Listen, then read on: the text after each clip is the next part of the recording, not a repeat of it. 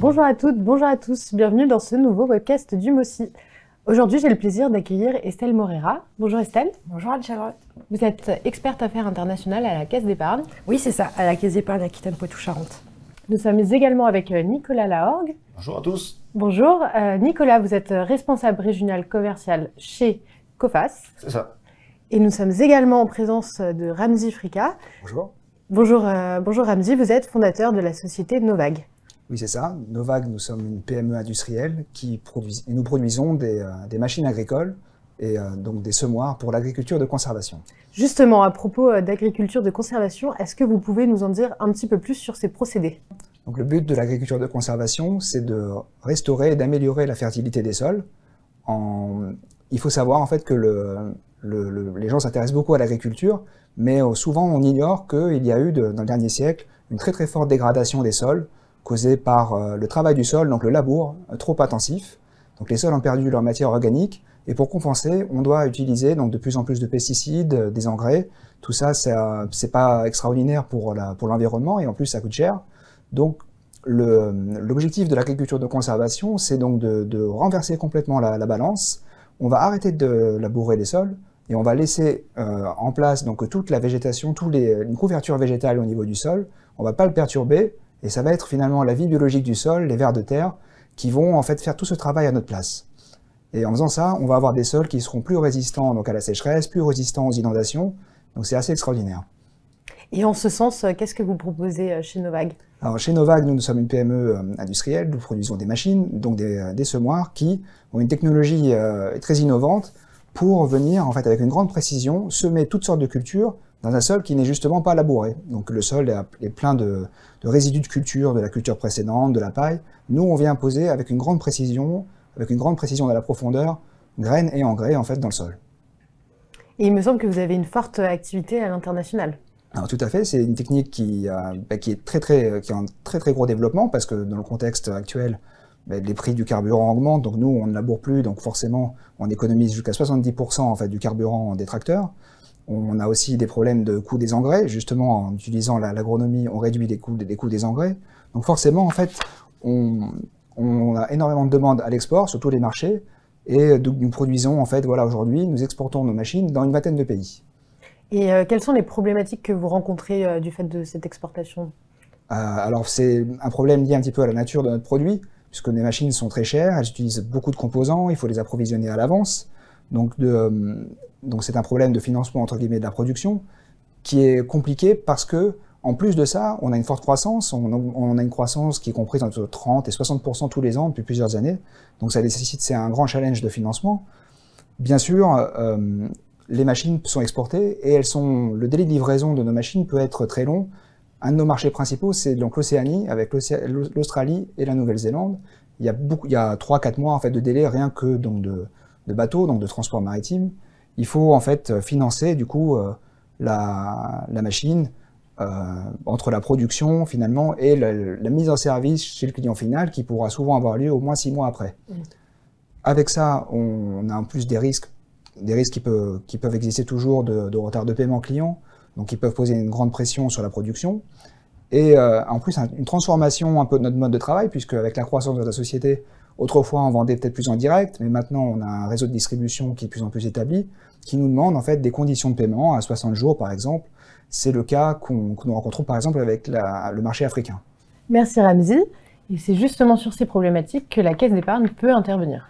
Oui, effectivement, on peut intervenir sur ces problématiques-là, on va y revenir, mais plus globalement, on accompagne Novak sur l'ensemble de ces, de ces besoins. On est intervenu en haut de bilan pour les accompagner sur la croissance, en financement d'actifs, en investissement euh, mobilier également.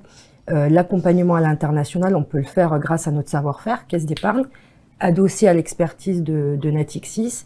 Et là, du coup, on a pu mettre à disposition de Novag l'ensemble d'une palette de produits compétitifs euh, en termes d'offres et en termes de, tarification notamment. Donc, elle a pris plusieurs formes hein, à l'international. Ça, ça a été euh, tout d'abord dans le premier modèle un peu de distribution au travers de euh, garanties de restitution d'acompte. Euh, et puis ensuite, avec le développement justement du modèle et notamment euh, la partie distributeur, où là, bah, il a été mis en place plutôt du financement de cycles d'exploitation avec des lignes court terme de type avance en devise pour mobiliser justement ces créances clients et afin que ce nouveau modèle ne vienne pas ralentir en fait la croissance de nos vagues en améliorant la trésorerie. Il me semble que vous avez également mis en lien Novag et Coface. Oui, alors ça c'est pour répondre effectivement aussi à la problématique euh, qu'évoquait Ramsey tout à l'heure sur euh, bah, la sécurisation du poste client. Euh, il y, a deux aspects. Il y a déjà la nécessité pour, pour Novag, avec ce nouveau modèle de distribution et puis sa croissance rapide, de sécuriser son cycle d'exploitation. effectivement, il y a les paiements qui peuvent arriver un peu plus tard, mais l'important c'est qu'ils arrivent. et de pouvoir continuer justement cette phase, cette phase de croissance. Et ensuite, il y a aussi la partie bah, bancaire, c'est-à-dire qu'en mobilisant un poste client, euh, bah, nous, on a besoin aussi de voir qu'il euh, est sécurisé et que le, les mobilisations de ces créances ne peuvent pas devenir un frein ensuite dans l'accompagnement euh, global de nos vagues. Et Nicolas, quelle solution de COFAS avez-vous fournie à nos vagues Donc, en analysant les, informations collectées, notre contrat d'assurance crédit Trailiner répondait parfaitement aux besoins et aux défis de nos vagues. Euh, nous avons pu élaborer une solution sur mesure, car le contrat Trailiner offre un large éventail d'options de service.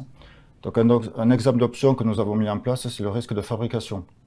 Donc elle permet à l'assuré, euh, en cas de faillite du client lors de la fabrication de la marchandise, d'être indemnisé à hauteur des coûts engagés, fourniture et main-d'œuvre comprises, et en cas de revente à un client, en cas de revente à perte à un client, nous indemnisons la différence.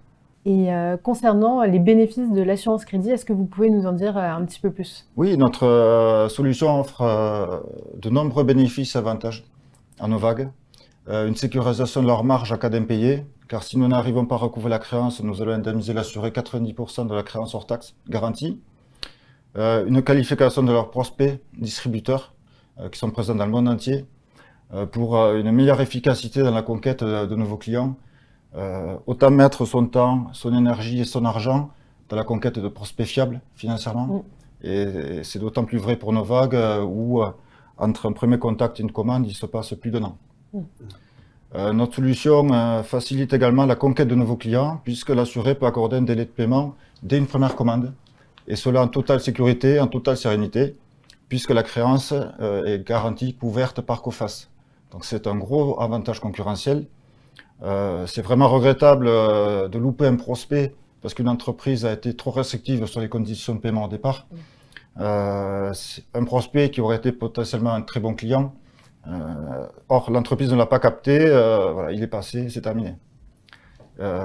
ensuite, notre solution offre également ou permet, facilite le développement du chiffre d'affaires. Mmh. Car l'assuré peut accorder sereinement plus d'encours à ses clients en croissance. Il faut savoir qu'une entreprise qui dit non à un client qui est en croissance et qui a besoin de plus d'encours, déjà ça va dégrader la relation commerciale. Et finalement, elle prend le risque de perdre ce client parce que lui aura trouvé un autre fournisseur qui est assuré crédit et qui va l'accompagner euh, dans, sa croissance en lui donnant les encours dont il a besoin. Euh, c'est dommage d'en arriver là. Et enfin, euh, nos vagues bénéficient d'un accompagnement personnalisé avec un gestionnaire Didier qui se déplace sur site. Et si je peux me permettre, ça permet aussi euh, et ça facilite l'obtention des lignes de crédit ensuite pour la mobilisation et ça c'est pas négligeable non plus. Tout à fait. Et euh, est-ce que vous avez d'autres produits complémentaires euh, pour répondre Oui, nous avons un produit d'information et de surveillance de la santé des entreprises. Ce produit s'appelle Icon. D'accord. En fait, nous mettons à disposition de nos clients Icon notre base de 95 millions d'entreprises allemandes que nous avons actuellement sous surveillance donc c'est une information qui est fiable. Euh, donc nos clients Icon euh, utilisent ce produit pour surveiller la santé financière de leurs clients, pour avoir des informations sur des prospects et également pour surveiller les fournisseurs. donc du coup, dans le contexte actuel, entre les ruptures de chaîne d'approvisionnement, les arrêts de production dus à l'explosion des coûts de l'énergie, c'est devenu primordial pour les entreprises de, de surveiller leurs fournisseurs et cela peut avoir de lourdes conséquences si ça ne le font pas. Ensuite, nous avons également un produit d'assurance pour couvrir les marchandises transportées, qui mhm. s'appelle Gatex. Euh, donc Gatex euh, permet du coup à l'assuré, en cas de sinistre lors du transport de la marchandise, d'être indemnisé à hauteur de la valeur de la marchandise, ce qui n'est pas du tout le cas sur ce type d'assurance. Mhm. Donc Gatex couvre les achats les ventes de marchandises et tout type de transport euh, terrestre, aérien, maritime. Et enfin, nous avons un service caution voilà, qui va délivrer une multitude de, types de cautions, des cautions de marché, des cautions environnementales, des cautions douanières, des cautions d'axis, et j'en passe. Merci Nicolas. Euh, quels sont vos projets pour 2023 concernant Novag alors pour 2023, on commence, euh, on va commencer l'année très bien. On a déjà en fait avec un carnet de commandes de plein et en plus avec un bel objectif puisque pour honorer, si on honore ce carnet de commandes, nous aurons une augmentation de la, production de plus de 50%. Donc comme le disait Nicolas, euh, c'est nous avons un contexte très très difficile en supply chain, etc. Donc déjà, on va commencer par, par produire, on va fabriquer ces machines. Donc ça va être un premier challenge. Ensuite, on, on, a au côté export, on prévoit en fait de, de renforcer nos marchés, euh, marchés principaux. Donc c'est euh, l'Allemagne et aussi un petit peu avec euh, avec l'Autriche. Donc on, pour cela, on, nous allons dévoiler bientôt une, une nouvelle euh, machine, donc un, vraiment adaptée au terrain vallonné, par exemple, qu'on peut avoir en Autriche. Et pour avoir vraiment euh, beaucoup d'ambition avec, avec, nos marchés un petit peu préférés comme l'Australie, là on travaille donc sur un, des des machines de très large, très grande largeur, donc vraiment dédiées à, aux très grandes exploitations australiennes. Très bien, merci beaucoup Ramzi. Merci Estelle, merci Nicolas. Merci à tous nos spectateurs et on se retrouve bientôt pour un nouveau webcast.